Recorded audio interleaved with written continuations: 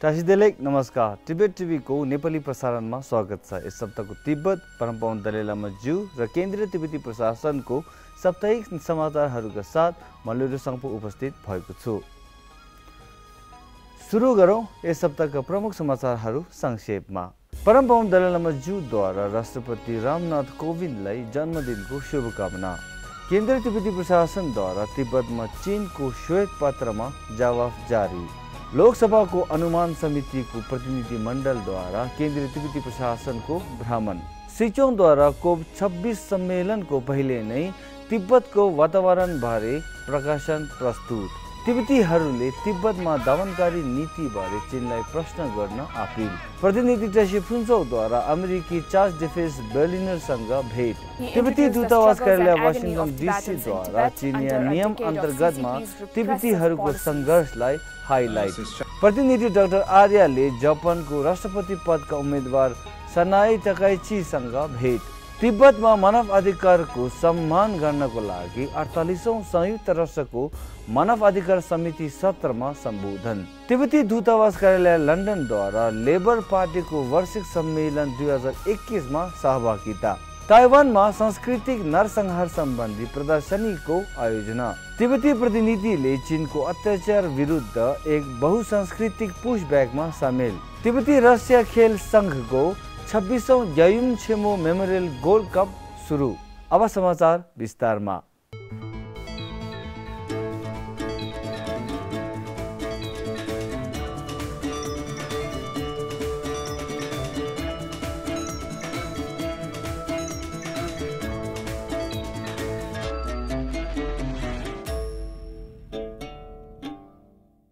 छहत्तर जन्मदिनको अवसरमा परमपवन दलामज्यूले भारतका राष्ट्रपति श्री रामनाथ कोविन्दलाई पत्र लेखी जन्मदिनको धेरै शुभकामना व्यक्त गर्नुभयो।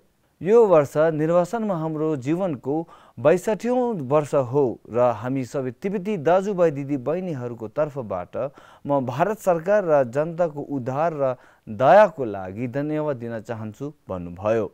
केन्द्रीय तिब्बती प्रशासनले यस हप्ता बिहिबार तिब्बतमा चिनको श्वेत पत्रको जवाफ जारी गरेको छ। जुन यस वर्ष मई महिनामा जारी भएको थियो। पत्रकार सम्मेलनमा सिजोङ पेम्पा छिरिङद्वारा तिब्बतमा चिनको गैर कानुनी कब्जाको विरोध गर्दै चिनले दावी गरेको तथाकथित तिब्बतको शान्तिपूर्ण मुक्तिले सत्यालय लुकाई चिनिया कम्युनिस्ट पार्टीको विचारधारा र चिनिया जनता र विश्व समुदाय दुवैलाई गलत सूचना दिएको छ भन्नुभयो Important is the way forward. So the way forward right now as proposed by His Holiness, approved by the Tibetan uh, general public and uh, adopted by the Tibetan parliament in exile still continues, which is to seek a meaningful, uh, long-lasting, uh, uh, mutually beneficial non-violent uh, struggle uh, resolution of the Sino-Tibet conflict. and uh, based on that policy, uh, we will follow through with the uh, set of uh, principles that we have set as the 16th cabinet. Um, therefore, uh, it's uh, imperative or important on the part of the Chinese government also if they want to resolve the Tibetan issue, if they want to find a lasting solution to the Tibetan issue, then we should look forward rather than making claims and counterclaims and falsehoods, spreading falsehoods or disinformation around the world or to the Chinese people. केन्द्रीय तिब्बती प्रशासनद्वारा दिइएको जवाफको प्राथमिक सिफारिसहरूमा केन्द्रीय तिब्बती प्रशासनका प्रवक्ता Tenjin लेक्सेलले मध्य मार्ग नीति चीन तिब्बत सङ्घर्षको वास्तविक समाधान हो भन्नुभयो Uh, in this response paper, uh, uh, we have deliberated some way forward uh, so that the Chinese leaders uh, think about what they should do in the future. Because uh, tomorrow is the national day of the Chinese Communist Party, uh, uh, the regime has started 70 years, 72 years back, and is a is a good occasion for the Chinese leaders to anticipate and think about what uh, is the real solution for this Sino-Tibetan conflict, and that we propose the middle way policy. सत्रौँ लोकसभाको अनुमान समितिको एउटा प्रतिनिधि मण्डलले गत हप्ता शुक्रबार केन्द्रीय तिब्बती प्रशासनको भ्रमण गरेको थियो केन्द्रीय तिब्बती प्रशासनले सांस्कृतिक प्रस्तुतिको साथ प्रतिनिधि मण्डलको आयोजना गरेको थियो। सिटिए र तिब्बती जनताको तर्फबाट सिजोङ पेम्बा छिरिङले भारत सरकार र तिब्बती शरणार्थीहरूप्रति भारत सरकारको सहयोगको लागि उनको आभार व्यक्त गर्नुभयो। तिब्बतको वातावरणको मुद्दामा समर्थन र जागरुकताको सुदृढीकरणको प्रयासमा केन्द्र तिब्बती प्रशासनद्वारा यस हप्ता बुधबार एक पत्रकार सम्मेलनमा तिब्बती परिवेशमा तिब्बती परिप्रेक्ष्य शीर्षकमा आफ्नो नवीनतम प्रकाशन गर्नुभयो। सिजोङले यो पुस्तक सरकारहरू र विश्व नेताहरूको लागि नीति बनाउन र तिब्बतको पर्यावरणीय मुद्दाबारे एक महत्त्वपूर्ण मामला बनाउनको लागि एक सम्भावित संयन्त्रको रूपमा काम गर्न सकिन्छ भन्नुभयो। उनले यो पुस्तक स्कटल्यान्डमा हुने जलवायु परिवर्तनमा आगामी कोप छब्बिस संयुक्त राष्ट्र सम्मेलनमा भाग लिनेहरूको लागि एक योगदान कारक हुनेछ भन्नुभयो। यो पुस्तक दुई हजार दसदेखि दुई हजार बिससम्म केन्द्रीय तिब्बती प्रशासनको पर्यावरण र विकास डेस्कको तिब्बती पर्यावरण शोधकर्ताहरूद्वारा तयार रिपोर्ट कागजात र लेखको एक सङ्कलन हो। कार्यक्रमको क्रममा तिब्बत नीति संस्थानले तिब्बत दुई हजार बिस आ इयर इन रेभ्यू शीर्षकको वार्षिक रिपोर्ट पनि जारी गर्नुभयो। जुन तिब्बतमा दुई हजार बिसमा भएका महत्त्वपूर्ण मुद्दा र घटनाहरूलाई हाइलाइट गरेको छ। स्विजरल्यान्ड र लिक्सटेन्टाइनका तिब्बतीहरूले संयुक्त राष्ट्र सङ्घीय मानव अधिकार परिषदलाई तिब्बतमा दशकौँदेखि उत्पीडनको लागि चिनलाई जिम्मेवार बनाउन आग्रह गर्नुभयो। गत हप्ता शनिबार संयुक्त राष्ट्र सङ्घीय मानव अधिकार उच्चायुक्तको कार्यालयबाट संयुक्त राष्ट्र सङ्घीय मानव अधिकार परिषदको कार्यालयसम्म संयुक्त राष्ट्र सङ्घीय मानव अधिकार परिषदको अडतालिसौँ सत्रको समानतामा एक शान्ति मार्च आयोजना गरेको थियो। तिब्बती समुदायका अध्यक्ष कर्म छुकी र संयुक्त राष्ट्र तिब्बत ब्युरोका अधिकारी कालिन छोमोलले संयुक्त राष्ट्र सङ्घीय मानव अधिकार उच्चयुक्त कार्यालयका प्रतिनिधिलाई भेटी समुदायको अपिल पत्र बुझाउनु भयो अपिल पत्रमा समुदायका सदस्यहरूले तिब्बतमा चिनिया आत्मनिर्णय नीतिहरूको तीव्रता तिब्बती बच्चाहरूका लागि अनिवार्य सैन्य ग्रीष्मकालीन शिविर लागू गर्ने जावम्बो र कार्जे तिब्बती क्षेत्रमा बिग्रेको स्थिति धर्म स्वतन्त्रता अधिकारको लगातार उल्लङ्घन र ग्यारौँ पेन्सन लामा गिन्दिन्चुकी निमाको बेपत्ता सहित विषयहरूमा गम्भीर चिन्ता व्यक्त गर्नुभएको छ गत हप्ता शनिबार स्विजरल्यान्ड र लिक्सेन्चाइनका तिब्बतीहरूले तिब्बती भाषा र संस्कृति विद्यालयहरूको दोस्रो आम बैठक बोलाइ युवा पुस्तालाई तिब्बती संस्कृति र पहिचानको लागि प्रेरित गर्ने कार्य योजना बारेमा छलफल गरेका छन्। इयु र पश्चिमी युरोपका लागि तिब्बती दूतावास कार्यालयका प्रतिनिधि चसी फुन्जोकले गत हप्ता सुरुवार निकोलस बेलिनरसँग भेट गरेका छन्। अमेरिकी प्रभारी निकोलस बेनिरलले परम्पाउन दलामा जुको विश्वव्यापी सम्मानबारे बोल्दै तिब्बती जनताको लागि अमेरिकाको समर्थन यसको प्रमुख मूल्यहरू र सिद्धान्तहरूमा निर्भर छ भन्नुभयो। तिब्बती दूतावास कार्यालय वासिङटन डिसीका चिनिया सम्पर्क अधिकारी चुल्टिम ग्याछोले यस हप्ता आइतबार एउटा भर्चुअल छलफलमा चिनको तथाकथित तिब्बतको मुक्तिको सत्तरी वर्षलाई जुटो बताउनु भयो उनले चिनिया कम्युनिस्ट पार्टीको दमनकारी नीतिहरूको एक दशक अन्तर्गत तिब्बतमा तिब्बतीहरूको सङ्घर्ष र पीडाहरू प्रस्तुत गर्नुभयो।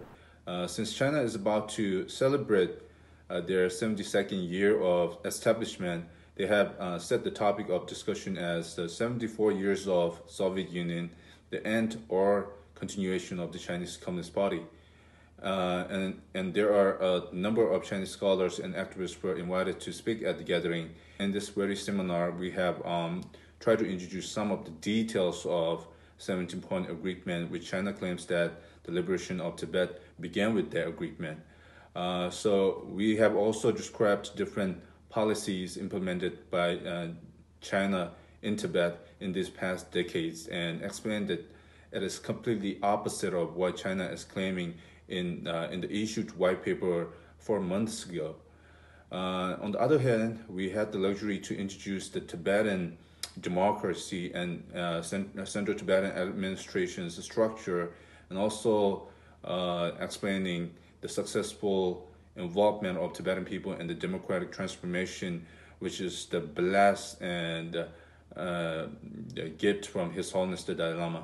तिब्बती दूतावास कार्यालय जापानका प्रतिनिधि डाक्टर छवन्जेप आर्य र चिनिया कम्युनिस्ट शासन अन्तर्गत अन्य उत्पीडित नागरिकहरूले चिनिया कम्युनिस्ट शासन अन्तर्गत मानव अधिकार उल्लङ्घनको बारेमा जापानको सत्तारूढ पार्टीको राष्ट्रपतिको उम्मेदवार सुश्री सानाई टाकाछीसँग छलफल गर्नुभयो सुश्री सानाई टाकाइचीले तिब्बत युगुर दक्षिण मङ्गोलिया र हङकङलाई स्वतन्त्रता सङ्घर्षको लागि समर्थन जारी राख्ने प्रतिज्ञा गर्नुभयो प्रतिनिधि आर्यले सुश्री तकाइचीले कुनै पनि क्षेत्रमा कुनै पनि उत्पीडन र मौलिक स्वतन्त्रताबारे भर्खरै एक कडा बयान जारी गरेकोमा धन्यवाद दिनुभयो Denmark Germany Netherlands Sweden Switzerland संयुक्त राज्य अमेरिका र युरोपेली सङ्घका प्रतिनिधिहरूले छब्बिस राष्ट्रको सदस्यहरूको तर्फबाट चिन्ता व्यक्त गरी अडतालिसौँ संयुक्त राष्ट्र मानवाधिकार परिषदको बैठकमा चिनलाई तिब्बत सिन्जङ र हङकङमा चलिरहेको अधिकारको सम्मान गर्न आग्रह गरेका छन्।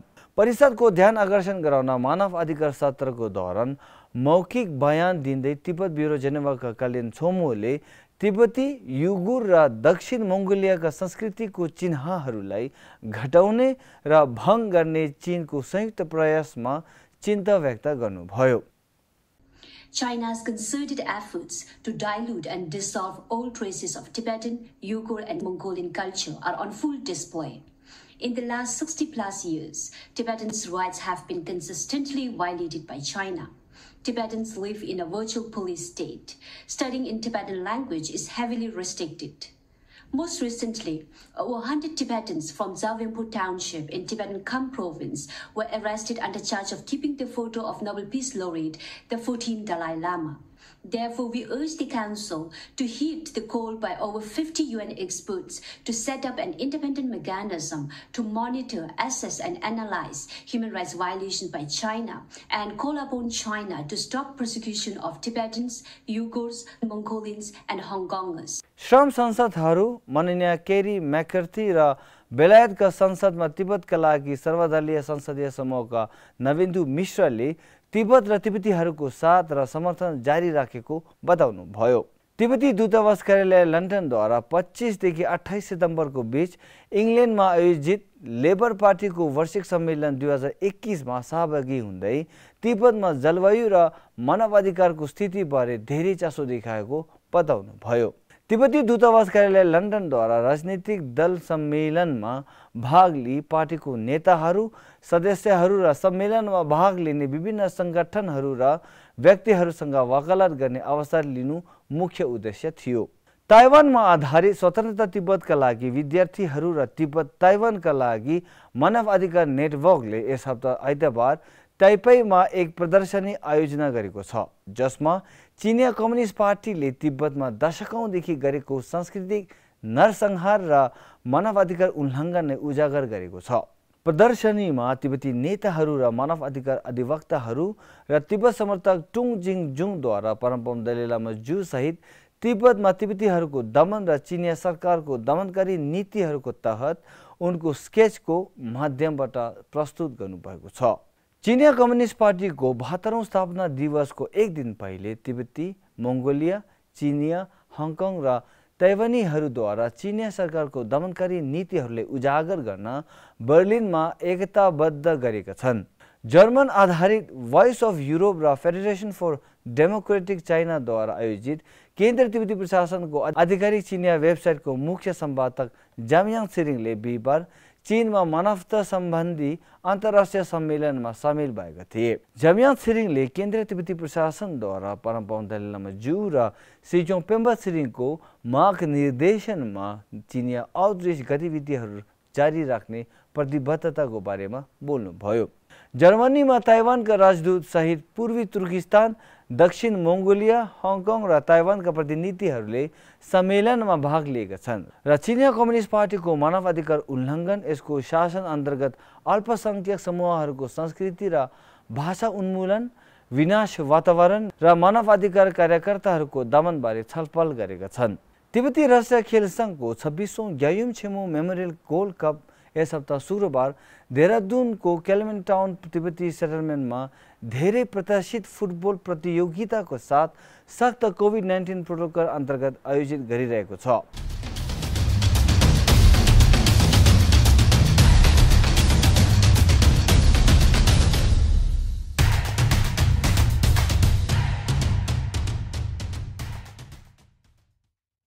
यसपटक विभिन्न तिब्बती सेटलमेन्टहरूबाट दस टिमहरू प्रतियोगितामा भाग लिइरहेका छन्। जुन भारतमा महामारीको स्थिति बिग्रेको कारण गत वर्ष आयोजित हुन असफल भएको थियो। नमस्ते। दुई हजार एक्काइसको घ्यामिचेम्बर मेमोरी गोल्ड कप हाम्रो धिन्डुलिङ टिबेटन संस्था सेटलमेन्टमा अनि अर्गनाइज गर्नुभयो।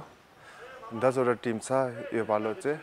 अनि दसवटा टिम सबै यहाँ राम्रोसित पुग्यो। उनीहरू यहाँ आउनुभन्दा अगाडि सबै टेस्ट टेस्ट गरेर आउनु पुग पुग्नुभयो। त्यो पछि अझै हामीले यहाँ पुगिसकेपछि टेस्टिङ गरेर सबै नेगेटिभ रिपोर्ट आउनुभयो। हजुर यो पालो चाहिँ दसवटा टिम मात्र छ। अनि टुर्नामेन्ट चाहिँ एक तारिकबाट बाह्र तारिकसम्म टुर्नामेन्ट हुन्छ। अनि यो पालो चाहिँ लाइभ हेर्नुभयो चाहिँ टिपेट टिभीबाट लाइभ टेलिकास्ट हुन्छ यो टुर्नामेन्ट सबै बाहिर हुनु मान्छेको लागि धन्यवाद। निर्वाचन समुदायमा यो सबैभन्दा ठुलो खेल पहिलो पटक परम्परा दलामा जुको स्वर्गीय आमाको स्मृतिमा सन् उनाइस सय एकासीमा आयोजित भएको थियो। सबै दर्शकहरूले आफ्नो ठाउँबाट तिब्बत टिभीको फेसबुक पेजमा प्रतियोगिताको प्रत्यक्ष प्रसारण हेर्न सक्नुहुनेछ। हस् त आजको लागि नेपाली साप्ताहिक समाचार यति नै। अर्को हप्ता फेरि भेटौँला। टसी नमस्ते।